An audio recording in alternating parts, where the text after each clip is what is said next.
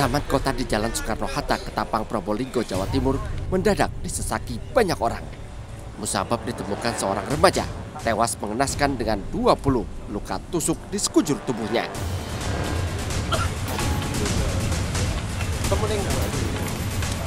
Korban dikenali Sony, seorang anak jalanan yang saban kali mangkal di lampu merah pertigaan Ketapang 50 meter dari lokasi tewasnya korban.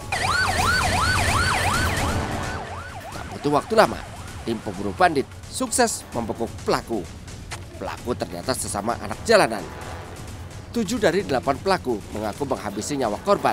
Terpantik korban berani menentang perintah ketua geng. Korban terjemput ajal setelah tusukan yang mengenai ulu hatinya. Tentunya sebelum melakukan tindakan aksinya mereka sudah uh, minum minuman bersama yaitu berupa alkohol 70% dengan campuran air putih dan sebelum melakukan aksinya juga sempat mereka ngelem.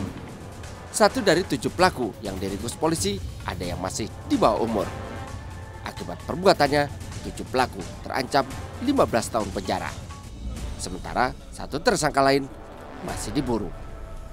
Demikian laporan Muhammad Sahwan dari Probolinggo, Jawa Timur.